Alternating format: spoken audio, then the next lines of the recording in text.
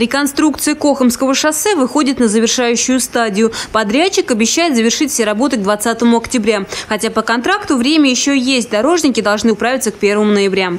В настоящее время ведутся активные работы по благоустройству газонов и пешеходных дорожек. Завершающий этап – укладка верхнего слоя асфальтобетонной смеси. Тип асфальта здесь применен А1 на гранитном щебне. Это самый э, высокопрочный асфальт, который сейчас мы ложим. Гарантию на этот асфальт мы даем 5 лет на верхний слой. Технологии у нас самый новейший завод, который в Ивановской области единственный находится. И, соответственно, по технологиям, значит, самый качественный асфальт. При разработке проектной документации специалисты позаботились не только о том, чтобы исчезла самая главная проблема пробки, но и подумали о безопасности дорожного движения.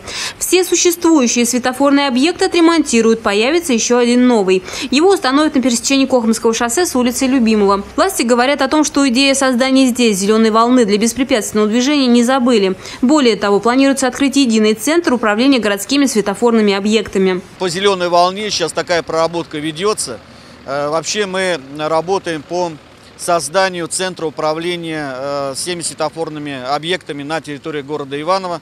Э, ищем сейчас инвестора, который один из вариантов предлагаемый, то, что светофорные объекты будут управляться в режиме онлайн из центрального диспетчерского пункта.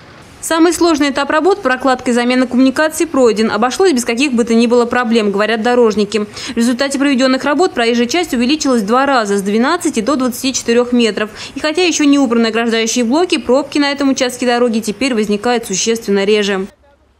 Любовь Почерникова, Олег Мелехин, РТВ Иванова.